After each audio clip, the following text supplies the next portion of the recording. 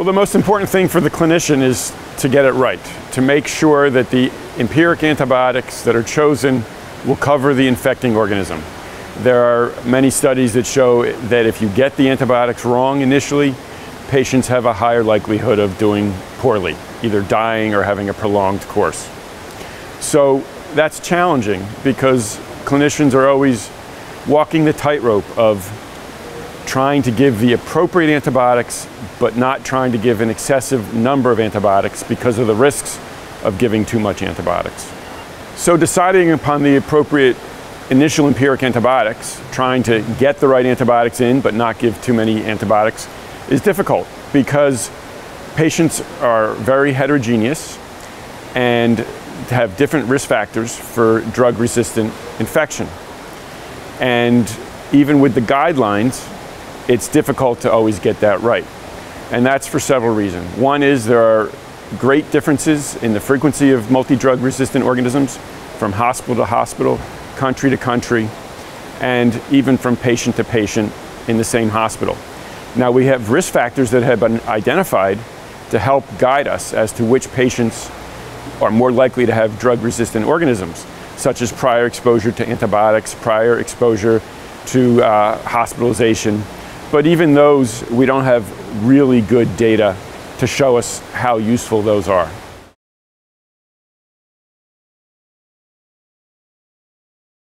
That, well, that'll vary between the uh, European guidelines and the uh, American guidelines, the IDSA ATS guidelines.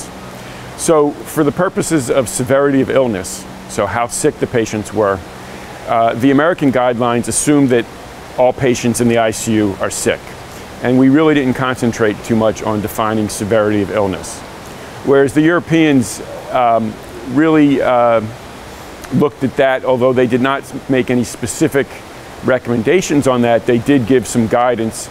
And they suggested that in general, more severely ill patients, there's a higher risk to the patient if the antibiotics are, are chosen uh, wrongly, so that if the initial antibiotics are ineffective, in a more sicker patient, there's higher risk of harm.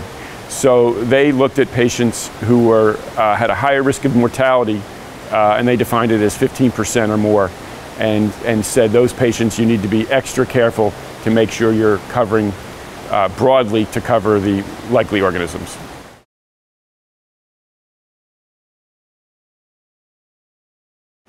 So they're pretty similar between both guidelines. Uh, basically, both guidelines suggested double gram-negative coverage and probably coverage for MRSA. Now, there are occasional exceptions in patients and um, units or settings where there's very low risk of multi-drug resistant organisms, but for most settings, that was what was recommended.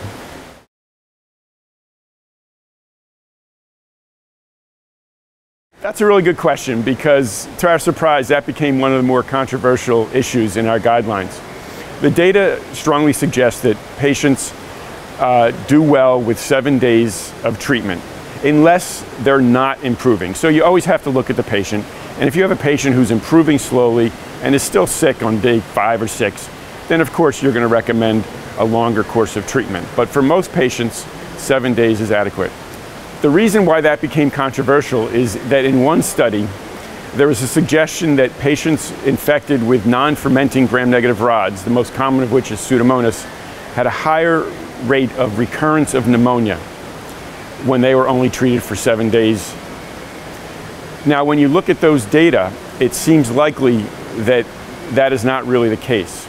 And the reason is, is because patients who got short course therapy, when looked at at 28 days, had 21 days during which they could have a recurrent pneumonia, whereas patients who got two weeks of therapy only had 14 days during which they could recur. So they were at higher, they were at a risk for a longer period of time if they got short course therapy.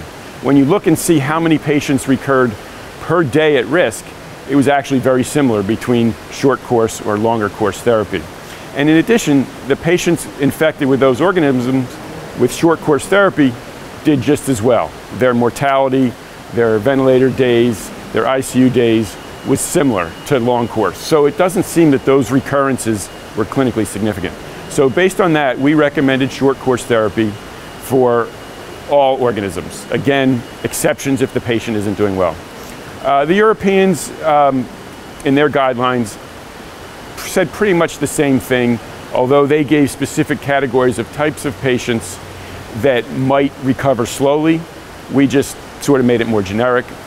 And they were a little more cautious about the non-fermenters such as Pseudomonas in terms of recommending only short course therapy.